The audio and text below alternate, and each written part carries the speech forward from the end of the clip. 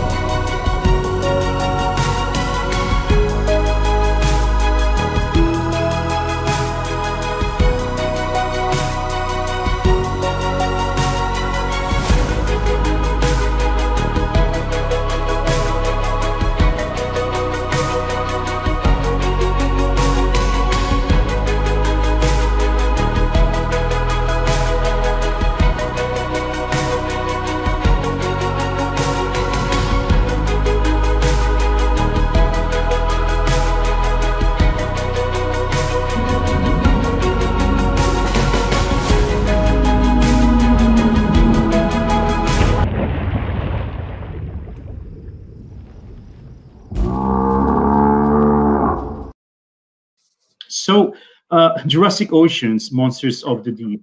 Uh, if you have ever wondered uh, what was happening in the oceans when the dinosaurs were roaming the land, well, this is the right exhibition for you. Uh, the main aim of the show really is to give family audiences the opportunity to dive into this uh, adventurous and mysterious underwater world and discover with fun, of course, uh, some of the most incredible creatures that have ever lived on this planet. Some, of course, were quite gigantic and scary. Uh, now, I would just like to briefly show you some pages from our new digital brochure and highlight some of the most important features of Jurassic Oceans. Uh, first, the look and feel. Everything was designed so as to bring Jurassic creatures back to life in an underwater environment. Uh, the exhibition look and feel was created by the team at the Field Museum in Chicago in partnership with us at the NHM. And uh, all set works, display cases, and AV equipment will be included in the touring package. So the show is fully turnkey and is designed to fit between 650 and 1,000 square meters.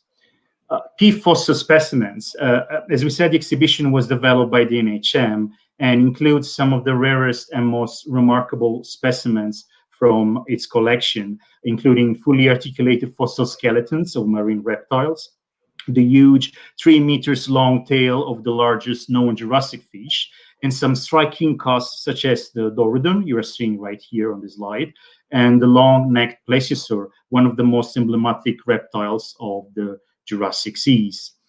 Um, as we mentioned in the trailer uh, you have just seen, the warm shallow seas of the Jurassic will come to life through a state-of-the-art CGI, atmospheric soundscapes and lighting, projections, and hands-on interactives created with the help of our expert scientists here at the NHM. Visitors will really have the chance to come face to face uh, with fearsome ancient predators and uh, their curious looking prey like never uh, before. Um, and finally, we have included in the exhibition package material to help venues develop their educational programs, of course. So, and on this note, now let me just stop sharing the, the screen. Here we are. I hope you can see me now.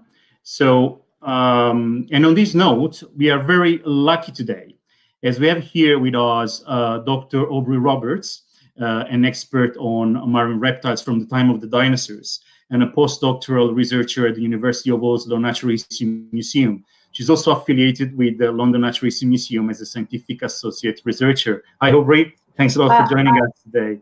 Hi, I'm very well. Thank you, Paolo, for inviting me. I'm very happy to be here and able to speak about Jurassic Oceans. Fantastic. Thanks so much. Um, so you basically you spent quite a lot of time working on the educational material and the CGI films that were developed for Jurassic Oceans. Yes, Paolo. I was a scientific advisor on the project as I'm a specialist on ancient marine reptiles. I work continuously with the exhibition team to help add up-to-date science to part of the exhibit and educational materials. So over the course of the year working with the team, it was amazing seeing my conversations with the team included in all the exhibition materials. Uh, it would be great to uh, focus with you first on the CGI films. Uh, the main question is how can prehistoric animals be shown on screen? Thanks, Paolo. So, whilst state of the art CGI, of course, is one of the answers, and when the CGI films were produced at every stage, a group of scientists advised the CGI team on the latest science to create the creatures with the most accurate shapes and features, movement, skin texture. And this is to make the virtual animals appear more lifelike. Right. So there was a lot of research going into the movement of the Liopleurodon's flippers, I know, for example, and the articulation of the plesiosaur. Perhaps you could tell us something about this? So one of the challenges is that we don't have Liopleurodons swimming around today, thank goodness, or anything similar to compare with.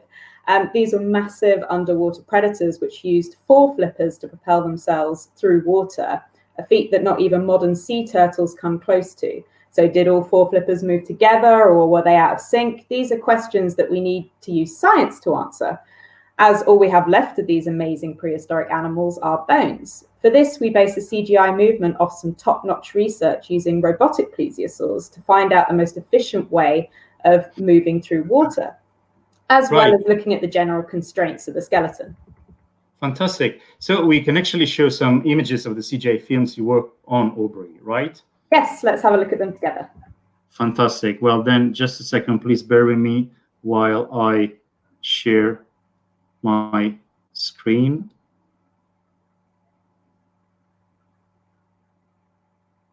Right, fantastic. So uh, this is one an image from one of the digital interactives, uh, which are part of the exhibition. And this is a Liopleurodon, uh, right, uh, Aubrey?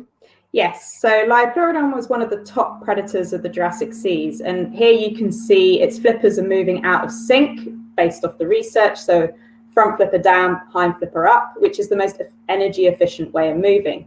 Also, the flippers are quite stiff and not bendy looking at the skeleton. So these are just some of the things that I input into that.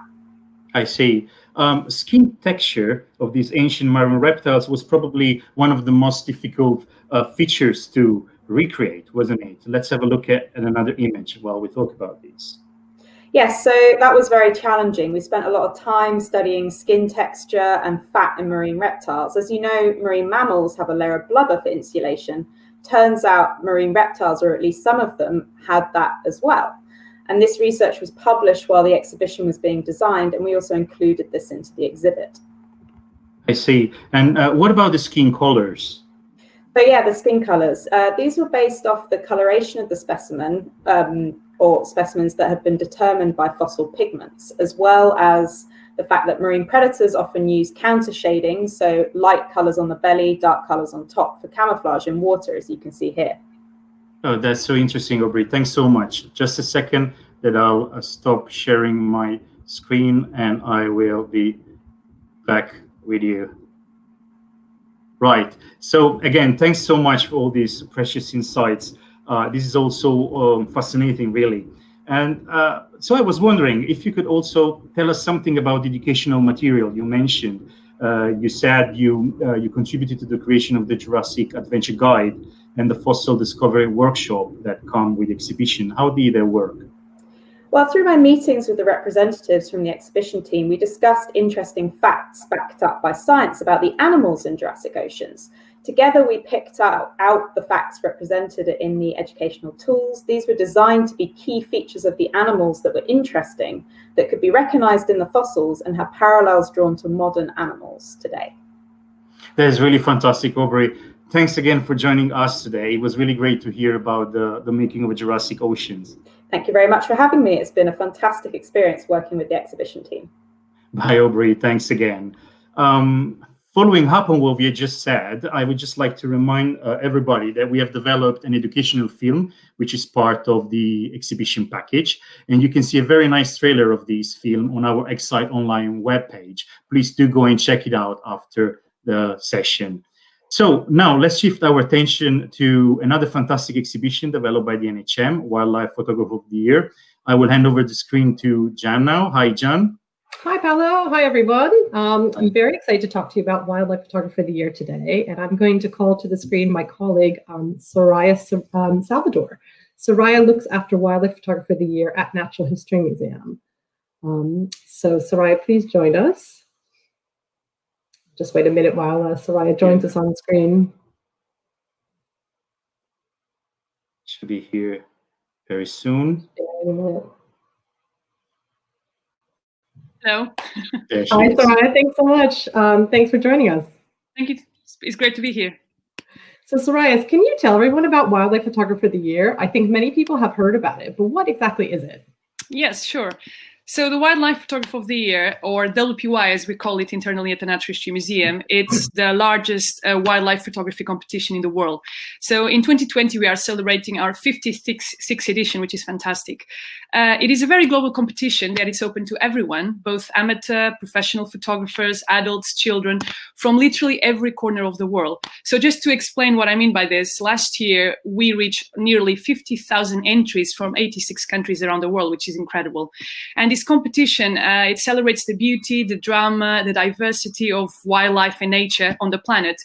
And you can see that on the wide range of categories that we have that span from animal portraits, behaviors, flora. And then we have the uh, groundbreaking photojournalism stories where we talk about the human impact on the planet.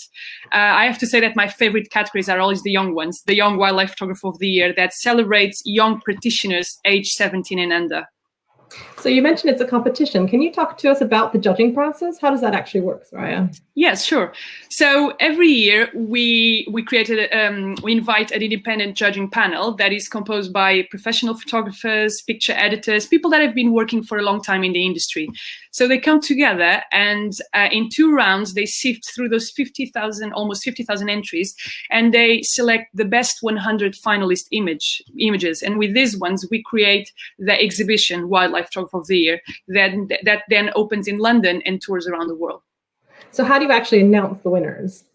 Oh yes, the, the announcement. So uh, we organize every year in October a very special celebration, which is the award ceremony, where all the photographers that are in the competition they come together. We announce the overall uh, uh, wildlife photographer of the year, which is a very respected uh, you know prize, and you also have the overall young wildlife photographer of the year, and uh, this is a really special moment. And um, and once we have the award ceremony, then uh, the exhibition opens in London and tours around the world.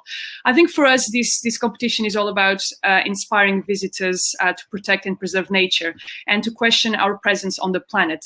And for us, I, I, always say that images speak louder than words, and this is a cliche. Photography is a very accessible medium, but we really hope that these images spark conversations in communities about environmental issues. Thanks, Soraya. And I think, yeah, that's right. The competition becomes this global exhibition, as you mentioned, that opens in London, but it also opens on tour in October every year as well. And it tours for 16 months across the globe. Um, and last year, the exhibition toured to 39 venues, 12 countries on four continents, and was seen by over 2 million visitors. It's really one of our most popular exhibitions in London, but also around the world. There's so many loyal and repeat visitors that come back every single year with family and friends. They really look forward it's to true. seeing it each year. So it's amazing. Um, so I'd like to share with you some exhibition um, photos from around the world. So let me go ahead and share my screen with you all.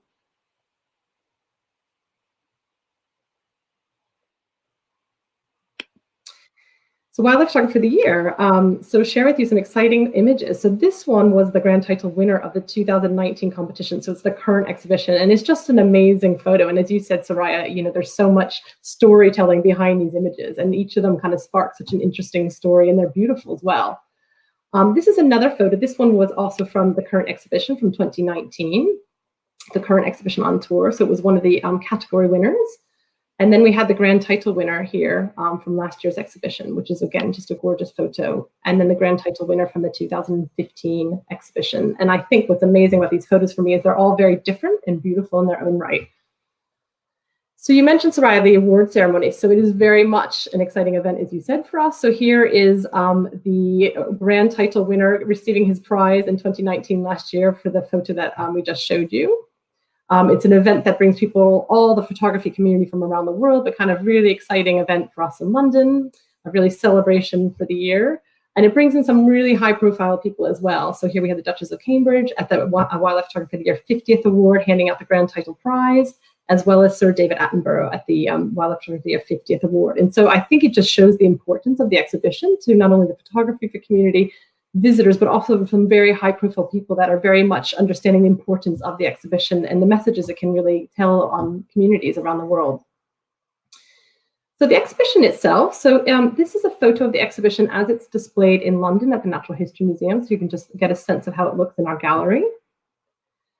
And on the touring version, we actually offer two formats on tour. So we have the Dibonds, which is a photography printed um, onto an aluminum backed panel, which is the photo you see to the left of your screen. And on the right, we have the light panel version, which we also tour. So that is the same um, version that you saw in the Natural History Museum gallery. And then just some examples of the exhibition as it looks in other locations. So this was the exhibition last year at the Field Museum in Chicago, in China, this is in Auckland, New Zealand. We were in um, Toronto, Canada as well. And then this is the Dibond version on display. This is Bristol in the United Kingdom, the exhibition in Germany.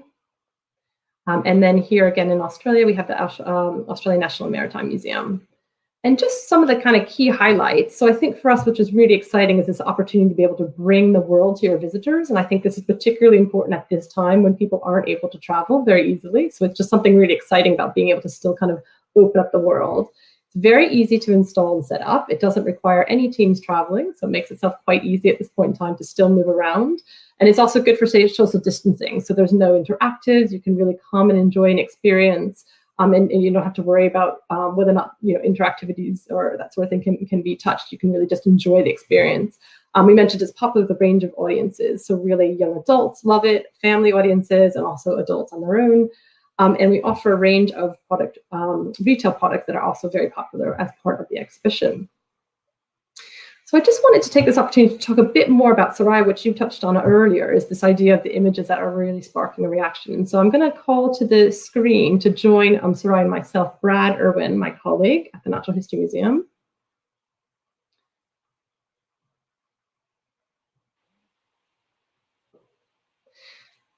So we'll just wait for Brad to join. So Brad is our head of international partnerships at the museum, and I know he's been very active at Ecsite, um, having done a lot of presentations last week during the other sessions. So we're excited to be able to have Brad with us here today with Soraya and myself. Hi, Brad. Hey, Jan. Very happy to see you again. Um, so Brad, tell us about your role at NHM and, and why it's so important. Um, thanks so much for inviting me. It's, it's kind of great to be back on the, the virtual Ecsite stage. um, so maybe I should start by saying that the museum launched a new strategy last year with a vision for a world where people and planet thrive. and a mission to create advocates for the planet. So my job is pretty pretty special.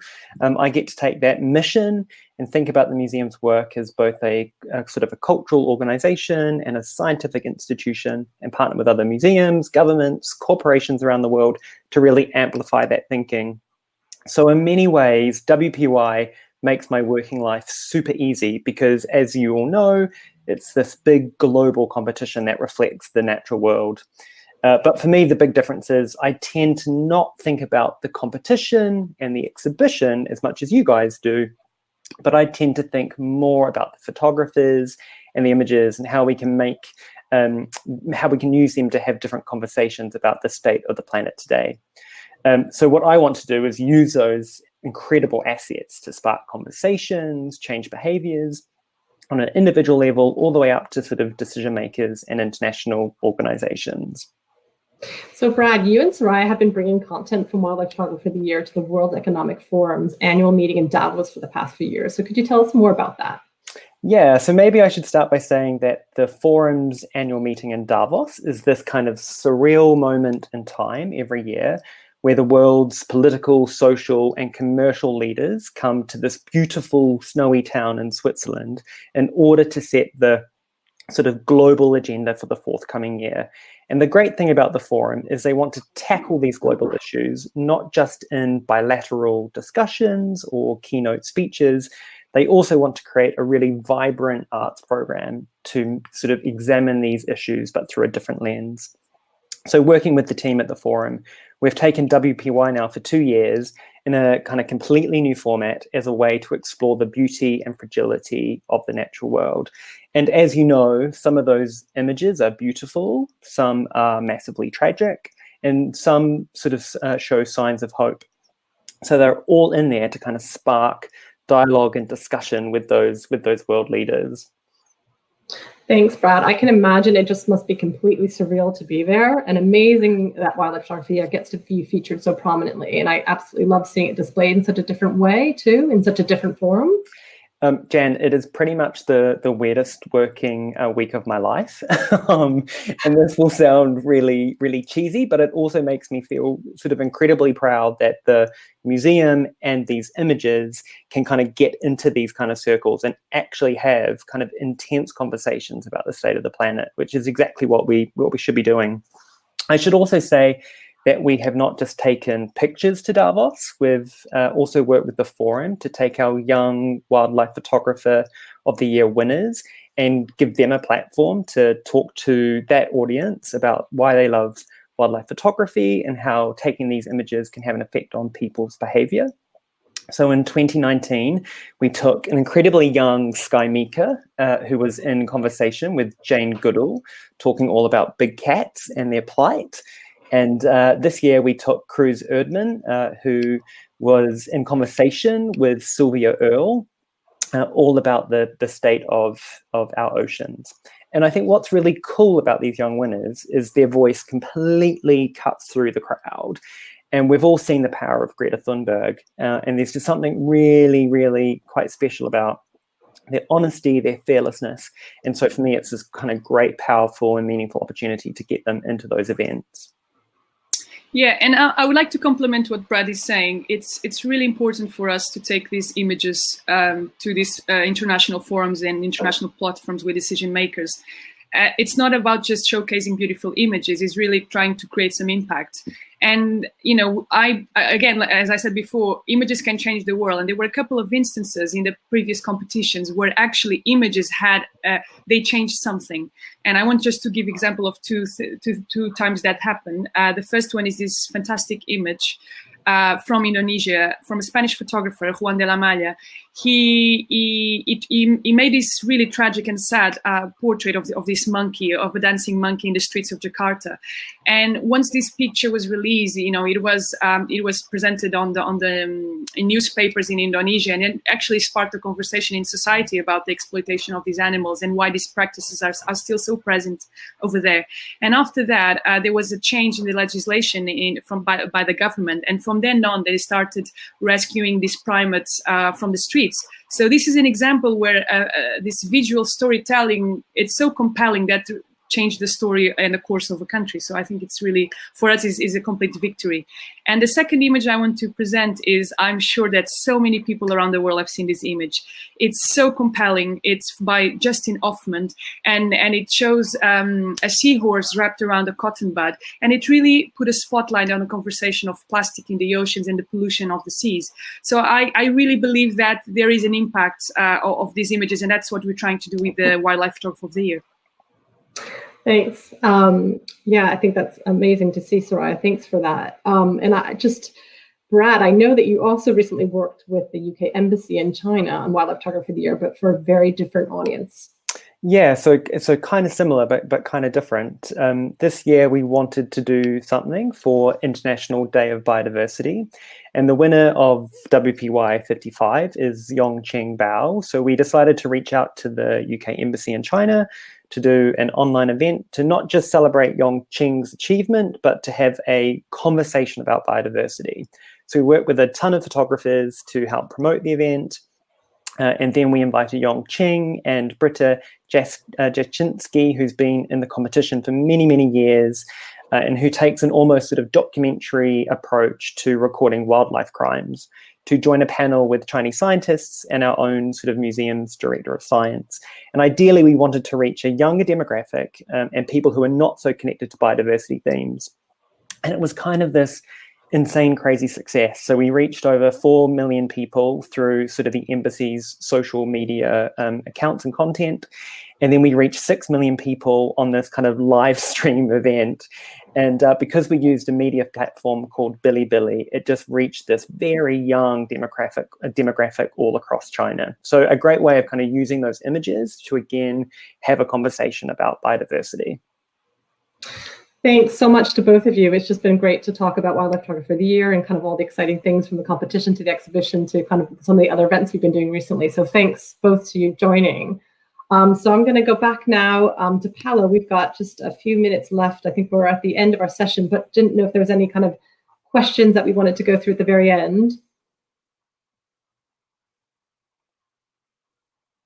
Just wait for Paolo to join us here. Um, we should.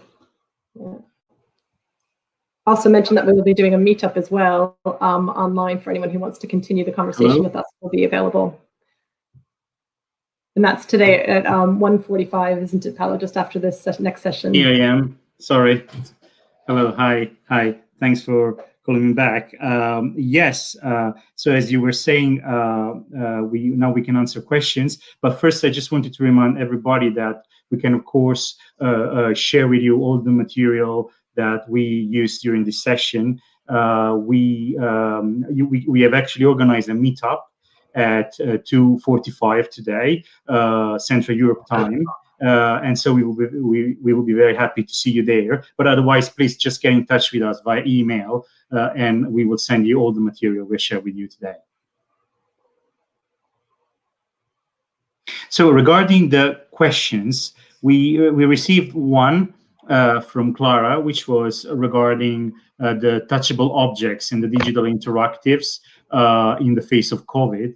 And I uh, replied to this question saying that although these elements, of course, are part of the of the exhibition, uh, those are not the core, um, uh, the only core elements of the exhibition. So there's a lot more that can convey this immersiveness. That, that is one of the, the main features of the exhibition. And then, of course, uh, depending on the country where the venue is and the local restrictions and guidelines, we will uh, discuss with the single venues what is the best thing to do in terms of interactives and if to include them in the exhibition or not. And another yeah, question. I, sorry, you, do you want? I know. I think we're just running up on time, so maybe just the. Uh, yeah, sure. Uh, the only other question was about how uh, you add an online dimension to Wildlife Photograph of the Year exhibition and uh, that was a question from Ingeborg. And I just said that at the moment we are producing a lot of new material to support our uh, partners and the venues that work with us. And uh, and then we will be very happy to to to share some trailers about what we are doing with you um, at the meetup or in the coming days if you get in touch with us via email. But just want to say again, thanks to Ecsite, and we're excited to be here and hope to see you all soon um, in the next Ecsite in London or um, on the meetup. So thanks to everyone. Thanks, everyone. It was a real pleasure. Thanks so much for having us today.